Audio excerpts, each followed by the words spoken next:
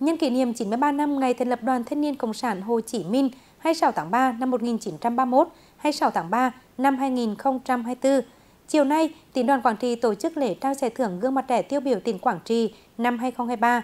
Chương trình giao lưu khát vọng cống hiến lễ sóng thanh niên. Tham dự buổi lễ có đồng chí Nguyễn Đăng Quang, Phó Bí thư Thường trực Tỉnh ủy, Chủ tịch Hội đồng nhân dân tỉnh, đồng chí Lê Thị Lan Hương, Ủy viên Ban Thường vụ Tỉnh ủy, trưởng Ban dân vận Tỉnh ủy. Tại buổi lễ, ban tổ chức đã trao giải thưởng cho 30 gương mặt trẻ tiêu biểu đến từ các tổ chức đoàn, hội, đồi trong toàn tỉnh Quảng Trị. Đây là những thanh niên tiêu biểu xuất sắc làm theo lời bác năm 2023, đại diện cho hơn 120.000 đoàn viên thanh niên trong toàn tỉnh. Mỗi tấm gương là những biểu hiện sinh động cho những nỗ lực của mỗi cán bộ đoàn, đoàn viên, thanh niên thiểu nhi tỉnh nhà trong học tập, lao động để góp sức mình xây dựng quê hương.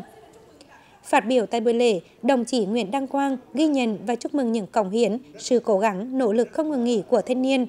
Trong những năm qua, cùng với sự phát triển của công tác đoàn và phong trào thanh thiểu nhi tỉnh, đã xuất hiện nhiều tấm gương sáng với những cách nghĩ, cách làm mới, tư duy sáng tạo, có ý chí, khát vọng vươn lên để cống hiến sức trẻ, xây dựng quê hương, đất nước.